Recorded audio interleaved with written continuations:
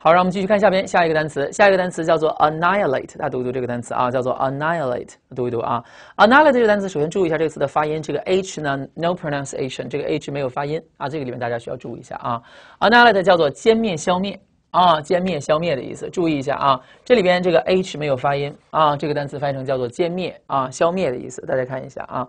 那么这个单词它的它的后缀还是比较明显，拿了一个单词，咱们读完之后，读三遍之后，你把这时候看了，去去拆解、去记忆这个单词了。前缀 a 加辅音双写不用看，后缀呢 a t e 动词后缀。那么这词剩下的部分就是谁呢？就是这儿。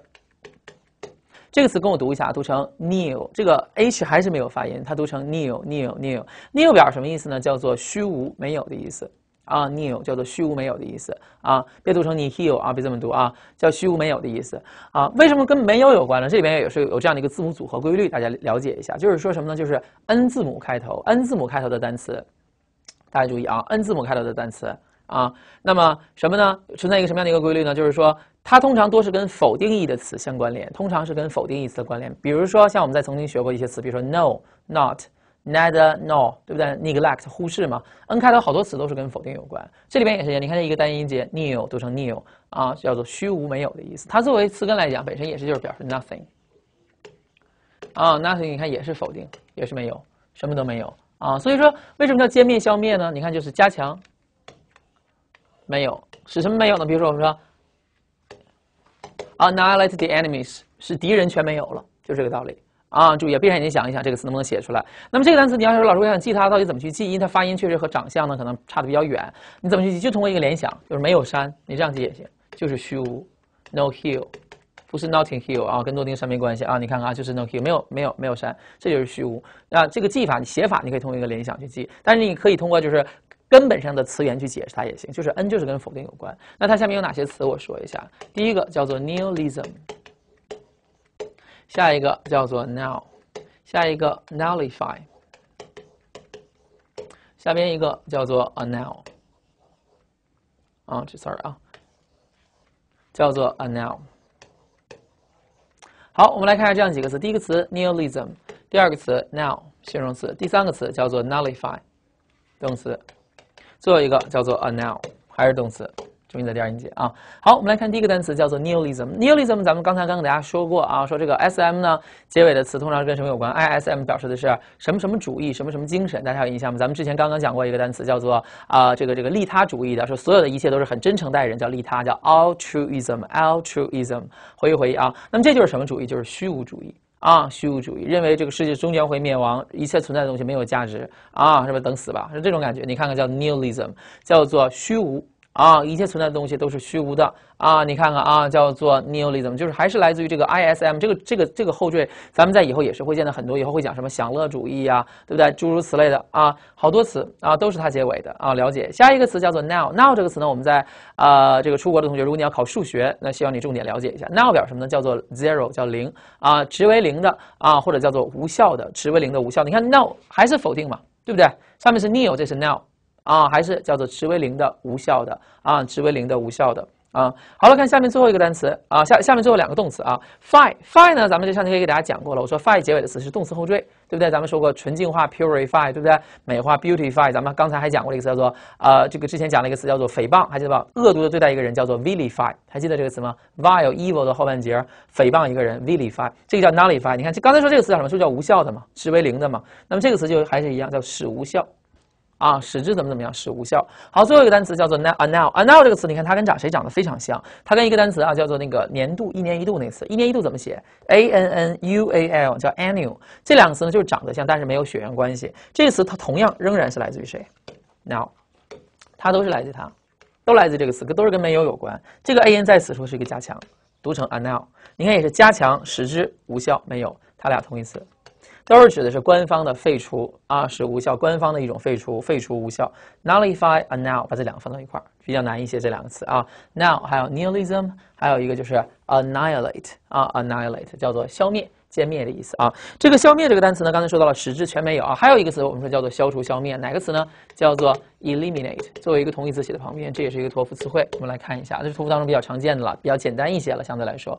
eliminate 这个单词呢，也表示什么意思呢？叫做叫做这个这个这个消除啊，消灭的意思。第二个意思还可以表示什么意思呢？除了表示消除、消灭，还可以表示的意思叫做呃淘汰，它有这个意思啊，它有这层还叫淘汰。为什么叫淘汰？咱们先解释一下，你看看中间这个词它是来自谁？它其实是来自于 limit，它其实来自这个词，就是我们说叫做界限这个词啊，意表示向外，关到界限之外。他说的是这个意思，你看，把你关到界限之外，不让你入界的感觉，所以这叫淘汰，也是吗？没有界限了，没有这个东西了啊，这也是没有了嘛，就是没有界限，意叫向外，消除这个界限也叫做消除的意思啊，消除。所以这个作为同义词放到一块啊，同义词放到一块，如果考到替换的话，就要注知道一下啊。好了，那么这个单词到这里不说了，让我们继续看下边，下一个单词叫做 annotate，大家看这个单词啊，annotate，annotate 这个单词叫什么呢？叫做注释评注啊，大家看一下啊，叫做注释评注的意思啊，注释评注的意思。那么，呃，还是非常直接的这个词的造词，前缀还是谁啊？a n，看到了吧？后缀是谁？a t e，看到了吗？前缀是 a n，后缀是 a t e 啊。那么这个词的核心部位剩的就是谁？来自于谁？这个词既然叫注释，应该来自于谁？note，note 咱们知道吗？叫做注意、注注释，就是这个意思。加强注释还是注释嘛？注解、注释啊，做一个记号。note 如果作为词根来讲，表示意思叫做 to mark，mark 的什么？就是。做记录呗，对不对？做记号、做记录，表示这样的一个意思哈。那么，呃，它下面有一些派生词，我需要说一下，记住啊，加强做记录，你通过 notebook 想想笔记本，对不对？都行啊。下面有这样几个词，第一个词叫做 notation，下一个叫做 connotation，下一个词叫做 denotation。最后一个叫做 notorious。好，我们来看一下这样几个词。第一个词叫做 notation，第一个词名词；第二个词 connotation 名词；第三个 denotation，最后一个词叫 notorious。啊，大家把这几个放到一块儿，前三个词它应该放到一块儿去记啊。第一个单词叫做 notation，大家看一下，notation 这个单词表什么意思呢？你看，就是取这个词根，你看 note 吗？加个名词后缀了，那这个词就取这个词根的意思，就是翻译成叫什么叫符号的意思啊？符号，比如说咱们学音乐的同学，你看那个五线谱最前面那个大火炬，高音谱号是这个东西是吧？还有咱们所所说的化学当中元素当中用的一些符号，这个叫做 notation，就是取的是 note 这个意思。这个意思还是比较直接，您只要抓住 note 的意思，是注释嘛，记录注释的意思，所以就是一个注释的感觉，叫做符号。下面这两个单词就在这个 notation 前面加了两个前缀，这两个放到一块儿，你看一个叫做 connotation，一个叫 denotation。这个东西在最前面啊，注意，你看符号放到一起，思维叫共同嘛，好几个符号放到一块儿，这个单词翻译什么意思呢？叫做隐逸，内在含义啊，隐逸啊，内在含义啊，内涵含义。而 denotation 就翻译成叫做意思意义，叫做 meaning。啊，表示这样的一个意思啊，所以这两个放到一块，这个第一呢不是表示向下了，它也不是表示除除去了，因为咱们之前给大家讲过，第一有除去的意思嘛，砍伐森林还记得吗？第一节课咱们给大家讲到那个那个啊，痛恨考试，痛恨怎么说叫 detest，还记得吗？痛恨那个词，那个第一是表示远离 off 的意思，但这里边绝大部分前缀，记住我说一下，孩子们啊，记住我说的。大部分前缀，几乎百分之九十五的前缀，除了它可能固有的一个意思以外，它可能都有一个共通的意思，都有个共同的意思，都表示什么？都可以表示加强啊。这有些前缀可能有可能表示说向后啊，有些前缀也可能表示什么向向向前啊，但它都有共同的意思，都可以表示加强啊，都可以表示一个加强，都还有这样的一个意思。所以这个词你看就是符号嘛，因为一个符号就是表示某种含义，比如这个 alpha beta 啊放到一起，可能表示一个符号放到一起，表示一个新的意思了，叫做演绎、演绎意义、演绎意义放到一块儿。Connotation denotation，最后一个词频率最高的这个词跟像频率最高可能还是这个词叫 notorious。notorious 这个词呢，你看就是有记号的，是不是就是这种感觉，就是很 marked。是不是很显著？它就相当于这个词根的感觉嘛。但注意这俩意思还是不太一样。Marked 呢是正向的，就是显著的、很明显的嘛。而 notorious 它也是一种很明显的感觉，但注意它又它又只是一个负向的一种明显。notorious 读一读也是来自于记号的感觉，你看充满了记号的嘛，也是很明显的感觉。但它就表示一个负向的概念，叫做臭名昭著的，也是很明显。但它讲的是不好的一方方面，很明显。notorious 读一读 notorious 臭名昭著的。啊，明显的臭名昭著的，表示不好的事情，明显，notorious 啊。那么这个词到这里就结束了，只要抓住笔记本这个注释就行。符号，符号放一起是引义啊，单独加强一个符号是意思啊，这个是有显著的，这个叫做臭名昭著啊。好，那么这个词到这里不说了，让我们继续看下边下一个单词哈。下一个单词叫做 antagonize，大家读一下这个词啊，antagonize。antagonize 这个词叫做什么？叫做敌对或者叫做对抗的意思啊，敌对或者叫做对抗的意思。那相当于我们所所说的叫做 be against，就相当于 against，turn against 啊，敌对啊，跟某人对抗对峙。那么这个单词呢，首先注意它后缀，后缀是谁呢？ize，ize 呢，我相信大家并不是第一次见，我们在曾经学过一些词，比如说叫工业化啊，industrialize 就学过了。但这里边我说一下，它有一些派生啊，你看啊，考试当中我说一下啊，你看第一个就是换成 ist，ist 大家都知道是什么词？名词，表示人嘛。那么这个呢叫 antagonist，叫敌人对手，敌人对手。那它的形容词叫 antagonistic。前面不变，啊，就是把这个 i z e 这个地方换一下啊。那么 antagonistic，antagonistic，它表什么意思呢？叫做敌对的啊，叫做敌对的啊，敌对的，相反的，敌对的。所以这就是它的一个变体，大家知道。那这里边我跟大家说一下，你怎么关注？有些单词可能稍微变化有好多东西看不出来了，但你永远记住一点啊，后缀变，看是不是后缀变了？对不对？其他前面都没变啊，后缀变，词性也变。你看这是不是动词？如果变成这样的话，这是不是变成名词了？后缀变，词性也变。那么这个词的意思、中心含义基本是不变的。这个词的意思，如你看，这叫做敌对，这是敌人，是这意思吗？加个 i c 叫敌对的，词性又变了，变成形容词了，它的意思不变了。后缀变，词性也随之变化，那么这个词的意思不变啊。所以就主要记为什么我在第一节课给大家讲到，我说记单词一定要记前边啊，因为后缀它确定词性嘛，影响不大啊，它的核心意思在靠前边的。好，下面咱们回到这个词上来，我说这个词怎么去记它？你看为什么叫做敌对对抗？敌对对抗反抗的意思，antagonize 能抓住谁去记？它前面其实来自于谁？就是这样的一个前缀，谁呀？anti，anti 在前作为前缀来讲，我在呃之前的课程当中给大家讲过，我说 anti 作为前缀表示相反的意思。咱们讲了一个词叫反感，还记得吗？antipathy，pathy 还记得吗？情感同情，sympathy 反感，antipathy 无情呢冷漠怎么说？apathy 回去一定要看啊，我会不断的提问大家。anti 呢作为前缀表示相反。所以这里面也是一样，就刚才我说到了，就是它和这个元音相碰了。像造词的时候，它发一个元音就行了，所以就去掉了一个元音，看到了吗？那么这里面这个 a g 和 a g o n，a g 作为词根来讲，它表示什么意思？表示的意思叫做 act，是跟行动有关啊，行动有关。a g 是来自 act，这为什么跟行动有关？你看我写在上面，你看，因为这个 a c t 啊，你看经常在一起写，写写写写在连笔了之后，就变成了这个词了，就变成了你看 a c t。然后就变成了这样一个词，a g 呢表示跟行动有关。如果你说老师我用熟词去解释它的话，哪个单词能佐证它呢？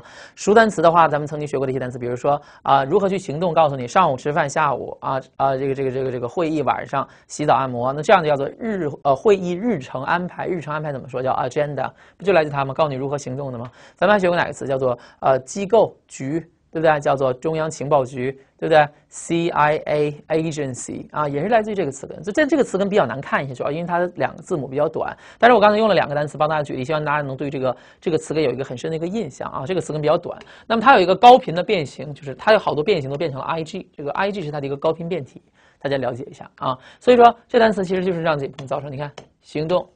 做相反行动的，不就这样一个动作吗？这个叫做敌对。你这样做，我分你做相反敌对的，呃，相反型，这个叫做敌对。它下面有哪些词？派生词，补充一下。第一个词叫 agitate，第二个词叫做 cogitate，第三个叫做 cogent，最后一个叫做 exigent。好，我们来看一下这样四个词啊。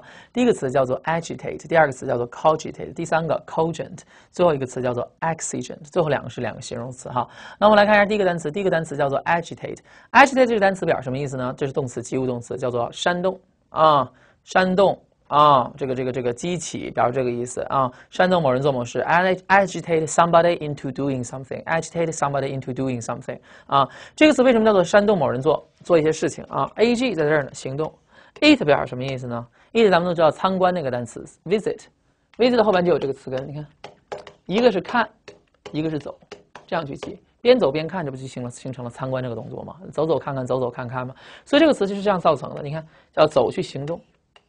记住一个解释，这叫煽动。你看，咱们有的时候说的人教唆的人都是同志们、同学们，我们赶快闹怎么怎么地，怎么怎么地罢课啊、罢工，还有怎么的罢演这样一个动作。你看他让同学们、同同志们干嘛去做一些事情，走去行动啊，这个动作叫做煽动。读一读，agitate，哎，这是一个非常重要的词汇啊，希望大家能够作为一个重点记一下啊，叫 agitate。第二个单词叫什么呢？叫做 cogitate，读一读这个词啊，cogitate，这就是前缀不一样。这个词呢比较难记了。啊，你看它其实也是压缩了这个 a，你看也是这样的一个后面不变，然后让大家一起去行动啊，大家一起做一个什么行动呢？记住我的一个解解释，叫做共同怎么样？共同一个什么行动？叫一起这个词叫做 to consider carefully，consider carefully 叫共同思考，叫做仔细考虑的意思。这个词这样去记：一起行动，一起思考。来，大家一起想一想，别人煽动你的时候，大家一起一定要想清楚，不该做的事儿不要做啊，是吧？你看看这个叫做共同思考，让大家一起行动的叫做仔细考虑啊，思考考虑的意思。这是一个不及物动词，搭配介词 on 使用，cogitate on something。仔细考虑的意思啊，仔细考虑，cogitate on。好，看下一个单词叫做 cogent。cogent 这个单词也是非常难记，不好记，但这个词呢也是一个高级词汇当中的一个重点啊。cogent 这里面不要写汉语意思，写它的同义词，英英去记啊。它的意思叫做 persuasive 啊，persuasive 叫什么意思呢？叫做有说服力的，persuade 高考词嘛，persuasive。所以里面咱们再通过一个词组再补充一下，比如说我们说 cogent evidence，什么样的证据呢？叫做有说服力的。啊，有说服力的 cogent，让大家一起行动，能够劝大家一起行动的东西。你看，如果你想让我们一起做这个事情，还是一起做吗？你这个东西必须有说服力，要否则谁跟你做呀？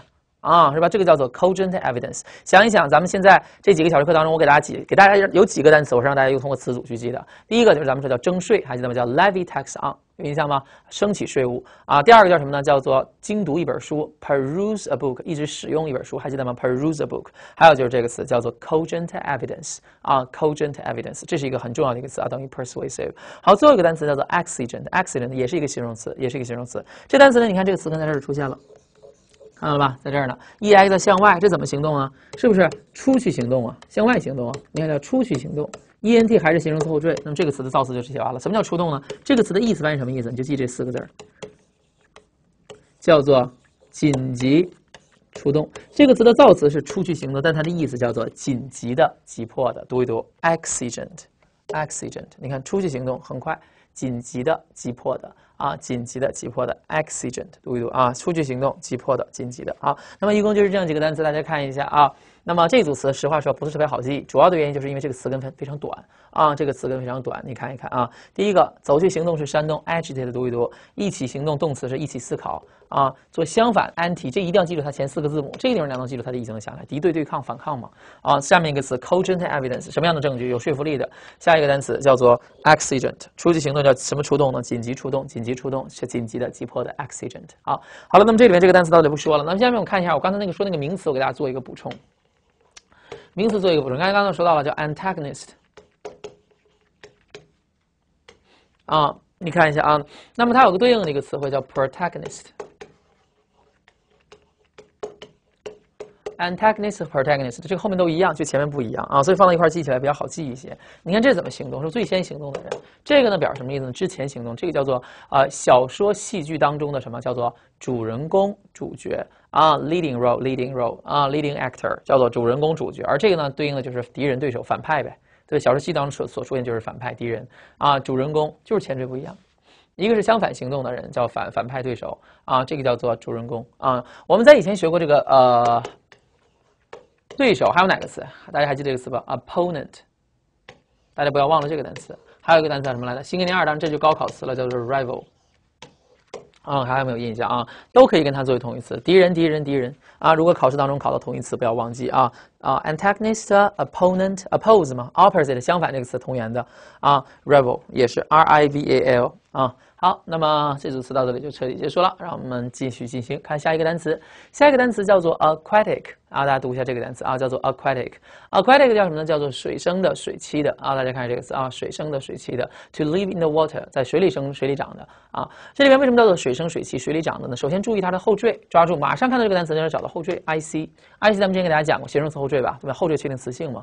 啊，咱们在第一节课给大家讲那个词叫做酸的，怎么说？酸的、尖刻的，acerbic，还记得吗？acerbic。那么这里面它这个词根来自于谁？就来自它的前半截，就是 a c q u a aqua。aqua 呢，在拉丁词根当中。这来自于拉丁词根当中，表示的意思叫做 water，啊，water，water 表示水的意思。那哪个词根，哪个单词能佐证它跟水有关呢？哪个词能佐证它跟水有关呢？那么我们如果上过高中的同学，大家应该学过这个单词，叫做 aquarium，叫什么呢？小写啊，小写就可以了啊，叫做 aquarium，叫做水族水族馆啊，水族馆，其实这是在中学课本里就有了啊，aquarium。如果信星座的同学，我们还有个这个星座叫做 Aquarius。看看你是不是这个星座的人啊？哪个星座的？叫做水牛水瓶座啊，水瓶座叫做 Aquarius 啊，都是含有水的。你可以通过这两个词去记一记啊。反过来把这个词根给它搞定，跟水有关。所以这个词你看后面加一个 at 在在水里的水生水栖的啊，水里的水生水栖的。那它下面有哪几个重点词？我说一下啊。第一个单词叫做 aqueous，第二个单词叫做啊，看一下 opaque。啊，aqua 是跟水有关，把这两个词补充在下面就可以了。第一个比较重要的就是这个，就是 aquatic，水生水栖的。第二个 aqueous 形容词。第三个叫做啊，opaque 啊，叫做 opaque。这当然阅读里还出现过这样的一个词，叫做啊 aquifer，但这就没什么可考的地方了。好，我们来看一下啊，aqueous，aqueous 表什么？你看还是水吧？A 变成了 E 啊，注意一下啊。O U S 形容词，这个 O U S 作为形容词后缀来讲，它表示什么意思呢？O U S 如果作为形容词后缀来，它表示叫做啊，充满了什么什么的，充满什么什么的，是这样的一种感觉。你看这充满了什么的？是不是充满了什么？充满了这个这个水嘛？这样的一种感觉叫什么呢？叫做 containing water，containing water 叫做含水的啊，水溶的，含水的，叫做 aqueous。第二个单词叫做 opaque，这是一个重点，给我画上重点符号。opaque 这个词的词根跑哪儿去了呢？它跑到这个单词的后面去了。大家看一下啊。A q u a 在这儿呢，变成了 a q u e。o p 作为前缀来讲，我说一下啊。那么 o p 是谁的变体呢？是来自于 o b 的变形。o b 呢是一个常见前缀。o b 作为前缀有两个意思，要么加强，要么相反。你看咱们学过吗？反对怎么说？object 物体那个词，对不对？o b 有两个意思，要么加强，要么相反。啊，这里边取的是一个相反的意思，因为这个词你看叫什么？叫做不透明的，not transparent，not transparent。transparent 这个词也是一个基础词，叫透明嘛？大家看有没有印象？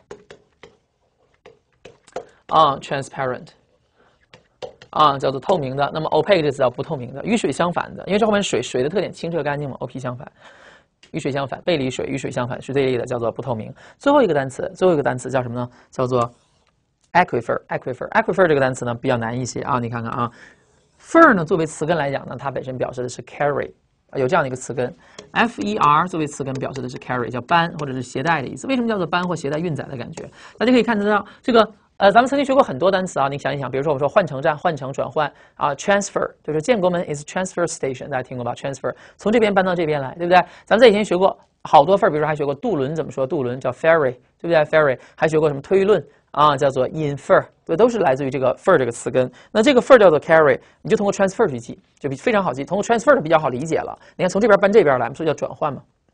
那这带带什么呢？搬什么呢？是不带水的呀？你看运载水的 carry water 的。运载水的，这叫什么呢？地质学当中的当中的叫做含水层，这个词表示含水层。地质学当中，你看运载水的这层都有水，含水层。好了，那么这个词跟下面一共就这样几个单词结束啊，重点是它叫做与水相反，叫不透明的啊，not transparent，表示这样的一个意思。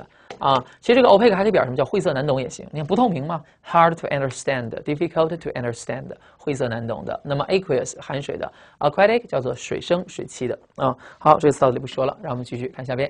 下一个单词读一读，叫做 arboretum。啊，大家看这个单词啊，叫 arboretum，arboretum 叫树木园或叫植物园啊，树木园或植物园。那么这里面这个单词呢，有一个重点的一个词根啊，要考察一下大家啊，看看有没有见过以前，就是 arbor。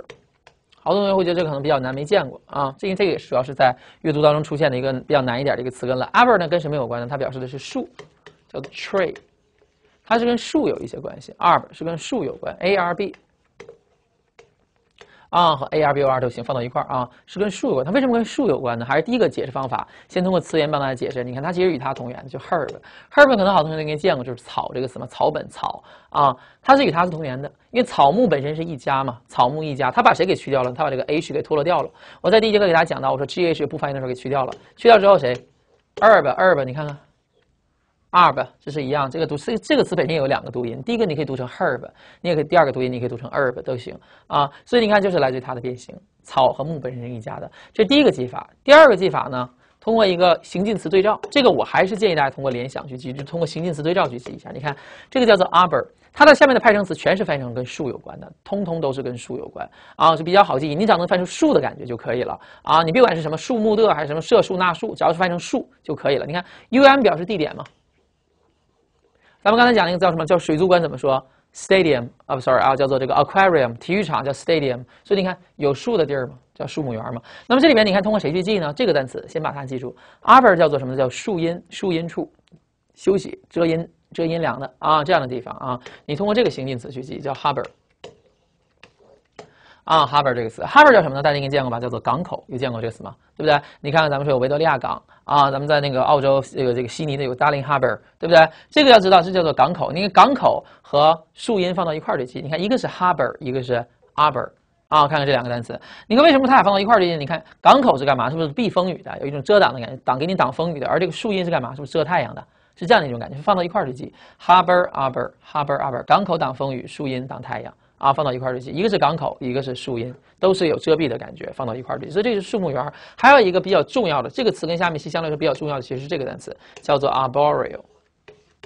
这个词是比较重要的，叫做 arboreal，arboreal，形容词一下能看得出来了呗？al 就是形容词后缀了呗？啊，那前半部分就是叫什么？是叫树啊，树加一个形容词后缀叫的嘛，树木的，或者叫做树生的、树栖的。啊，咱们说那个啊，koala。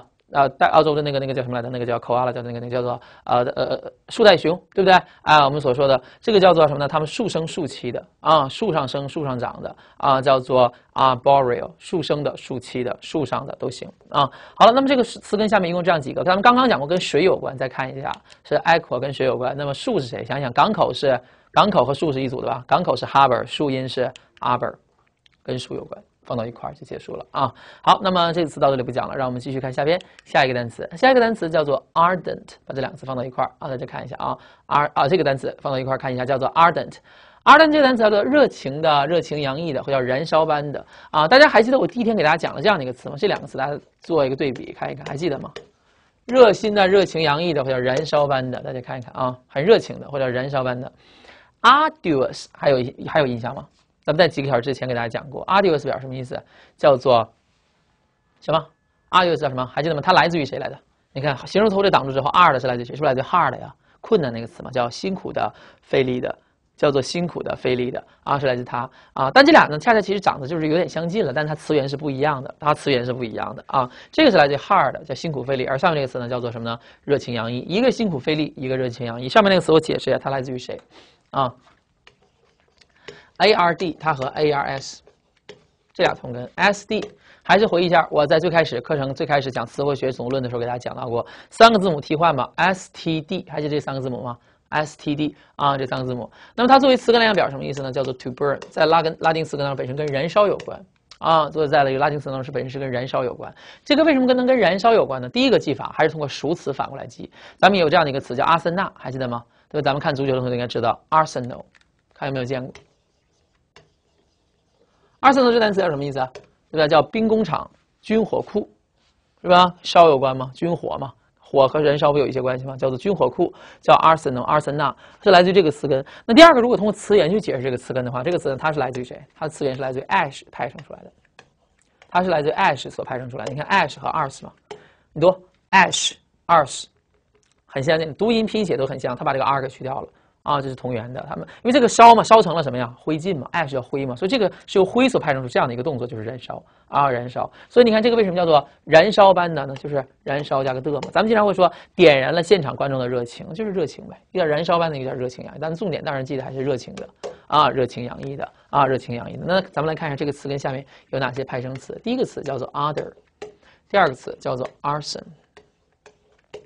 最后一个叫做 arsonist。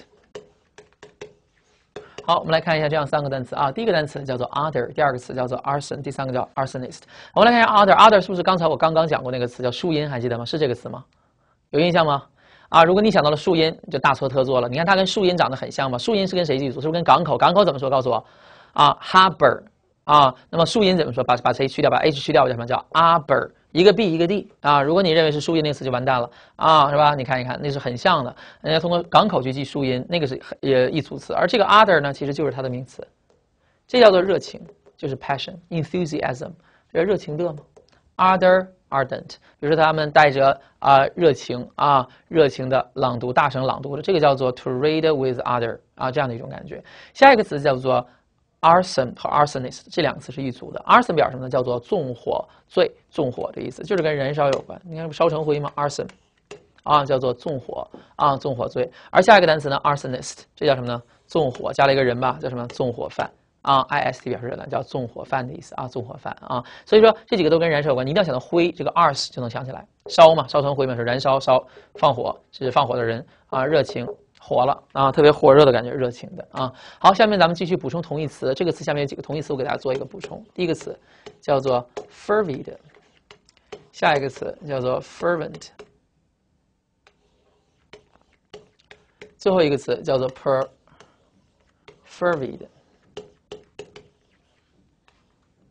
好，我们来看这三个词。第一个词，fervid, fervent, perfervid。fervid, fervent, perfervid。啊，我们来看这样三个词啊。这三个单词呢是三三个同义词放到一块儿去记啊，就是程度呢，最后一个是比较强一些。第一个叫热情的，第二个还是热情的，第三个叫十分热情的。热热十分热，放到一块儿去记。热热十分热情，热情十分热情啊。你看最后一个单词其实就在这个 fervid 前面加了一个谁？是不是加了一个 per？per 咱们在第一节课咱们给大家讲过，它表示 through，是不是这个意思？一直嘛，它不能取那个 away 的意思了。你要取 away 的话，那就是远离热就不热了。但这个词的意思叫十分热情，所以它肯定是取个加强，有是用一直热啊。你看它它俩就差一个后缀不一样，一个是 id，一个是 ent，都是形容词后缀。那么它们的词源是来自于谁呢？你自己琢磨琢磨。你看得看前面嘛，词源我都说了，词源一定要把前后缀刨去去看，你就读它，跟它长得像的，发音像的，还能跟热有关的哪个词？firm firm 哪个词？热情热情十分热情哪个词？能想到这个词吗？叫什么？fever。发烧这个词，发热嘛，就来自它的变形啊。通过 fever 去记，把这三个字读一遍，非常好记，希望大家能够一遍记住。fervid, fervent, perfervid，热情，热情，十分热情啊。好，那么这个词到这里不说了啊。